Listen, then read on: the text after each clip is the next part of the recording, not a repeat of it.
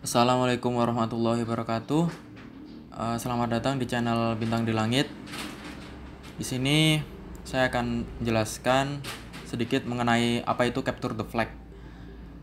Uh, langsung saja. Uh, di ke keamanan dunia maya itu prioritas tinggi perusahaan baik kecil maupun besar disebabkan dari serangan dunia maya yang telah meningkat dalam beberapa tahun terakhir di mana itu dapat mempengaruhi bisnis mereka. Uh, menanggapi serangan-serangan ini, para profesional keamanan dan mahasiswa tentunya telah melalui pelatihan yang ketat seperti bagaimana peretas dapat masuk uh, ke perusahaan dan bagaimana cara mempertahankannya. Salah satu cara pelatihan cyber security atau keamanan dunia maya adalah melalui kompetisi Capture the Flag atau biasa disebut CTF. Um, CTF sendiri merupakan kompetisi yang bisa diikuti oleh seluruh kalangan. Kompetisi ini digunakan sebagai alat pembelajaran untuk orang-orang yang tertarik dengan keamanan cyber dan dapat membantu mempertajam tools yang telah mereka pelajari. Ada dua tipe CTF keamanan di dunia maya. Uh, ada attack defense dan Jeopardy style. Um, apa itu attack defense? Attack defense itu biasanya setiap tim menyerang sistem tim lain serta mempertahankan sistem mereka sendiri.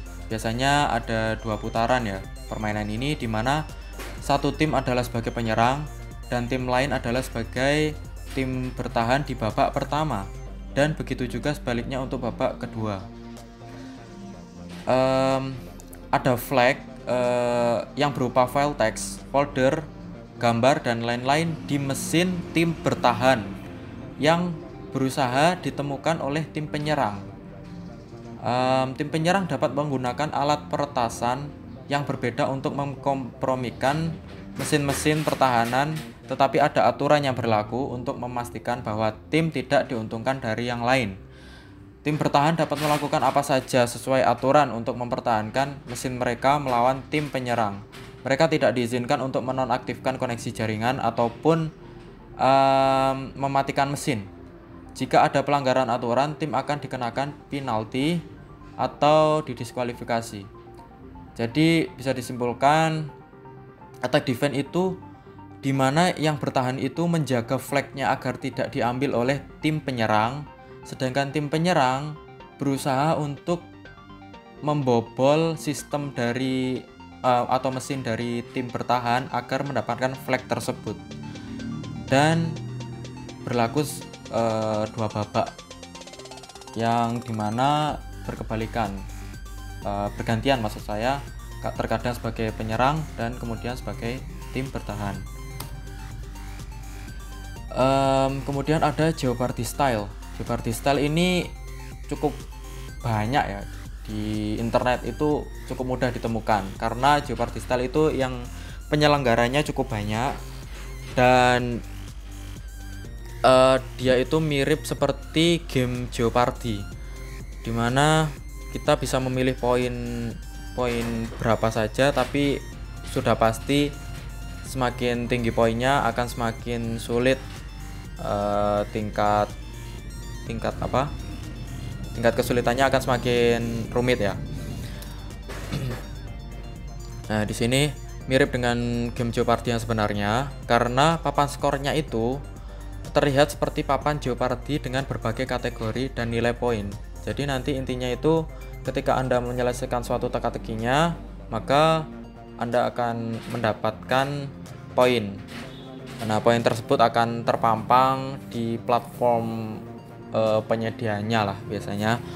Nah, dalam Jeopardy style ini biasanya lebih dari dua tim ya, karena um, Jeopardy style ini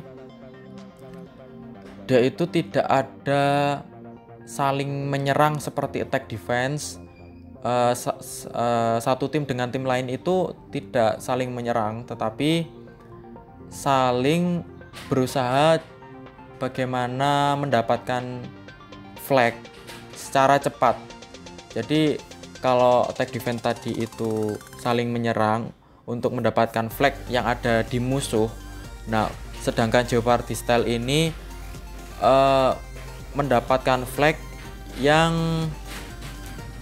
algoritmanya itu dibentuk oleh platform penyedianya tersebut. Beberapa kategori dapat termasuk kriptografi. E, contoh sederhananya kriptografi paling dasar itu mengkonvert binari ke desimal, hexa, dan seperti itu. Kemudian ada steganografi, keamanan fisik, dan pemindaian. Dan masih banyak lagi ya, ada forensik, e, binari eksploitasi, lalu ada ada masih banyak ya banyak lagi pokoknya uh, beberapa tantangan dapat dilakukan terhadap server utama yang dikembangkan untuk memecahkan teka-tekinya dan jika berhasil flag akan dimasukkan ke dalam papan skor CTF untuk mendapatkan poin bagi tim. Uh, penghitung waktu digunakan untuk memulai dan menghentikan CTF dan setelah penghitung waktu selesai otomatis permainan berakhir. Tim dengan poin terbanyak otomatis sebagai pemenang. Jadi ini berlomba-lomba untuk memecahkan suatu teka-teki uh, dan mendapatkan poin sebanyak-banyaknya untuk memenangkan kompetisi. Baik, uh, mungkin cukup penjelasan sedikit penjelasan uh, atau sharing ilmu dari saya. Semoga bermanfaat untuk teman-teman. Terima kasih. Sampai jumpa di video selanjutnya wassalamualaikum warahmatullahi wabarakatuh